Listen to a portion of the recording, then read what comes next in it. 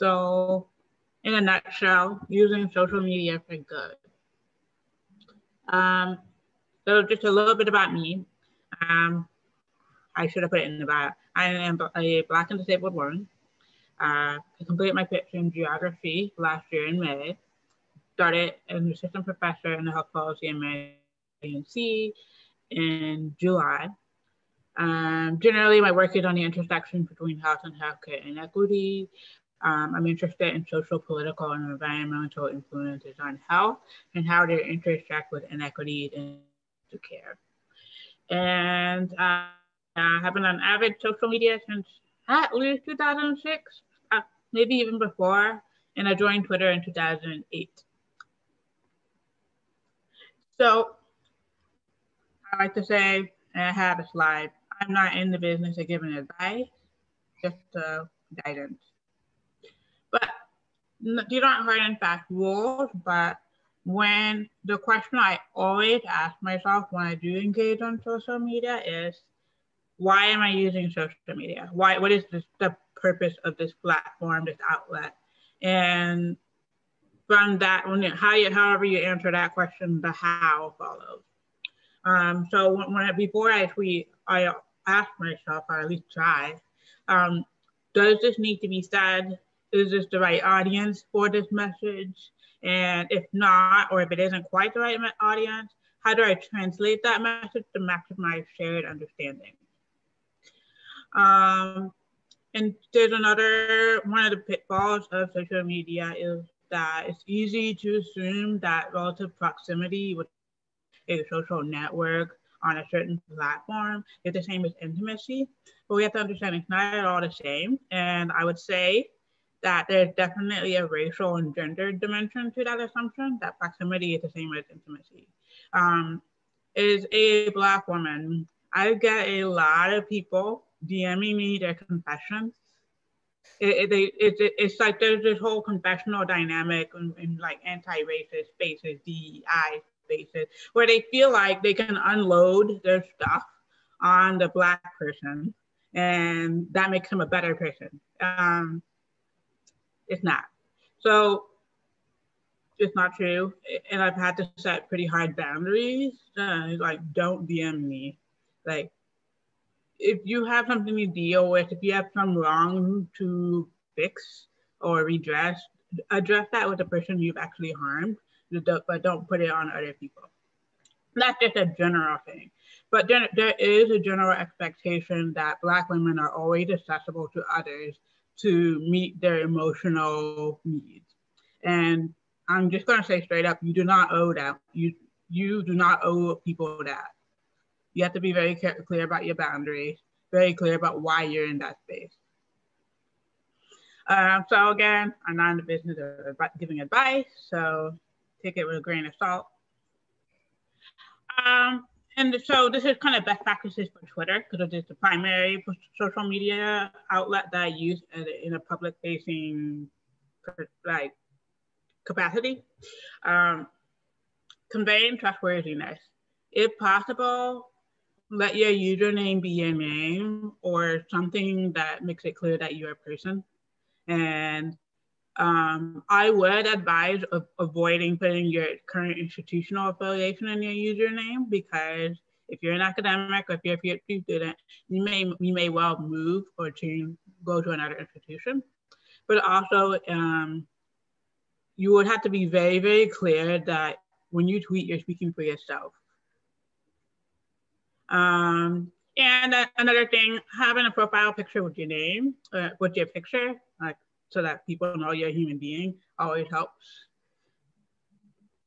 And a, a bio that gives context for your tweets, because sometimes, especially as a person of color, black person, disabled person, whatever intersections of marginality that you kind of straddle, people will definitely presume, presume incompetence. So if you do want to avoid having to deal with those those presumptions of uh, those presumptions of incompetence, it helps to have context in your bio. Not everybody reads for context, but it does help um, when people do. Um, in terms of trustworthiness and engagement on social media too, being is really, really key. Um, and being kind. It's if you have a reputation for being a kind person, that goes a long way.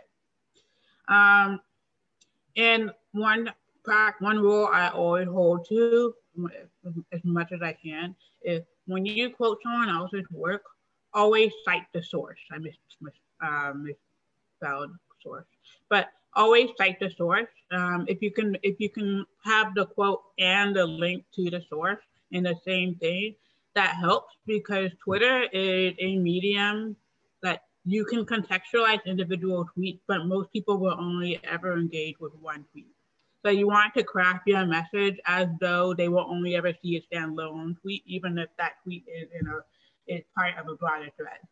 So that's that's one of the challenges. That's something that it takes practice. Crafting these short messages that are 280 characters or less that stand alone, but also fit within your broader narrative.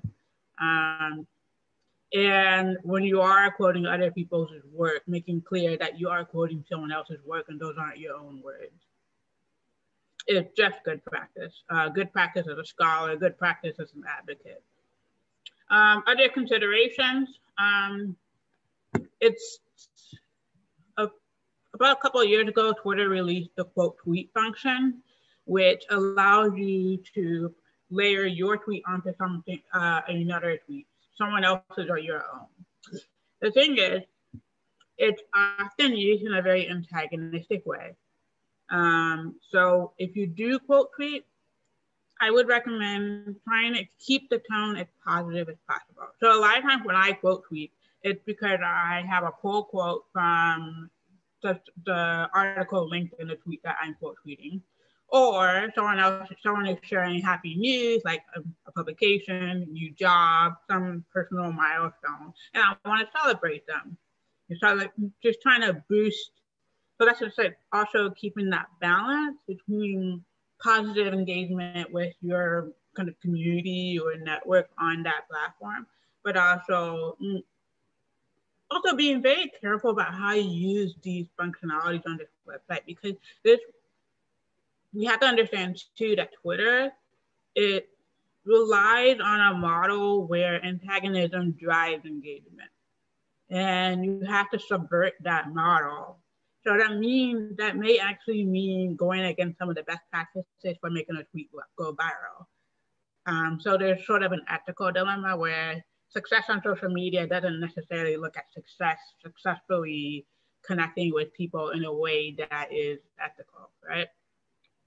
Um, so with quote tweets, I would say again, keep the tone positive, avoid dunking on or punching down on other people, um, especially when people those people have fewer followers than you. Um, that's just just part of that is again because Twitter, the whole model is based on um, antagonism that drives engagement, and it, clicks are what counts for Twitter. Um, so yeah, uh, and this is definitely true, something I've observed over the years.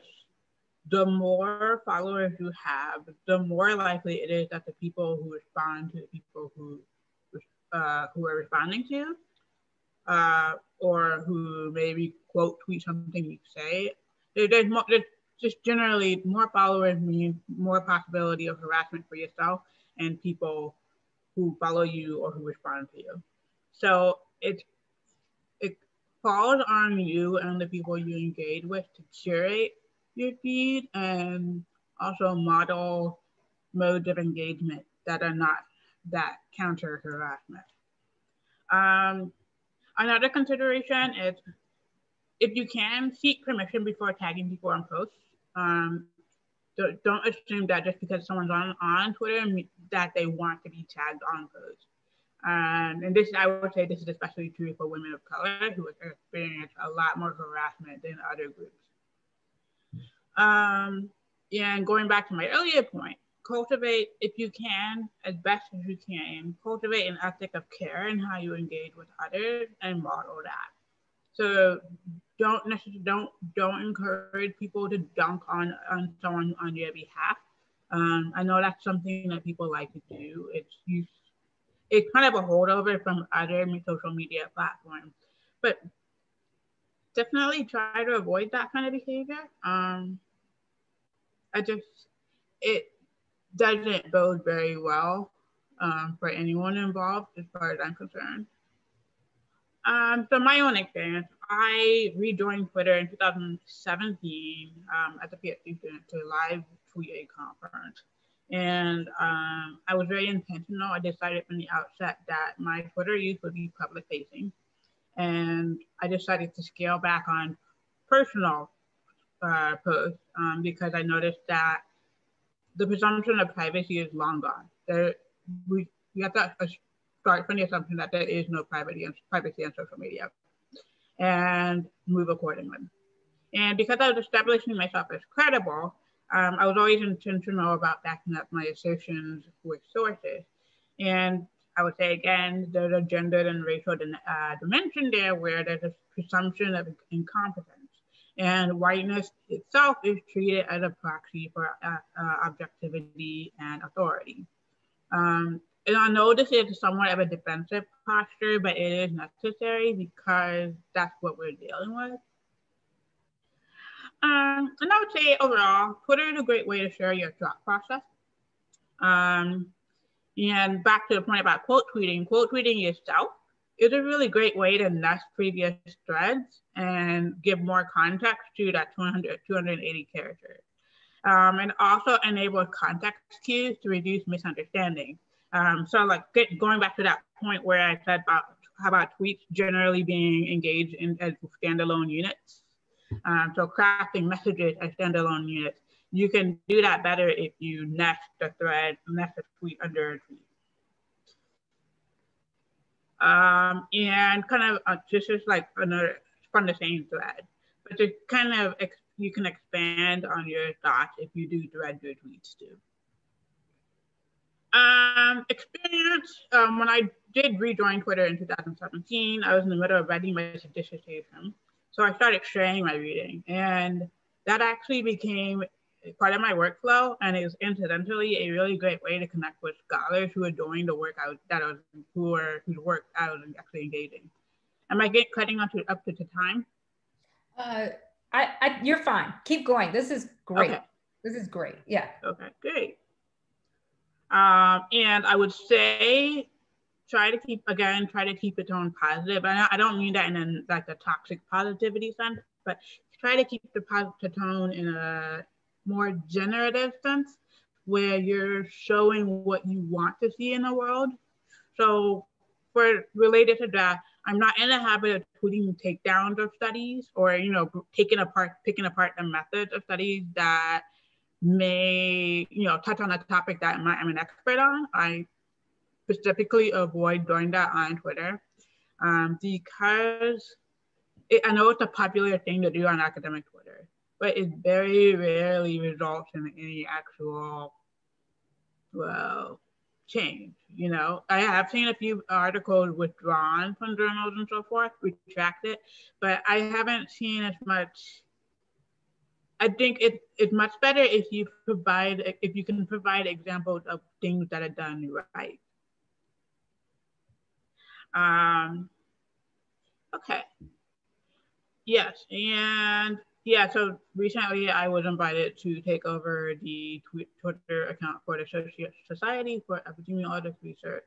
And so I tweeted about, and this is getting a little bit about what the positionality. So I started with a positionality statement and that actually contextualizes thread about um, the history. It was a very brief thread about the history of research on health disparities, the health inequities in Black communities, and different approaches, like qualitative, quantitative approaches. And I, I ended it with some reading recommendations. But like, it's it's a very different model than what you see from a lot of in a lot of academic Twitter. But you, you I'm not saying you have to do this, but I'm saying you figure out what works for you. Uh, so that's it for me. Uh, so hopefully that gives everybody time for questions.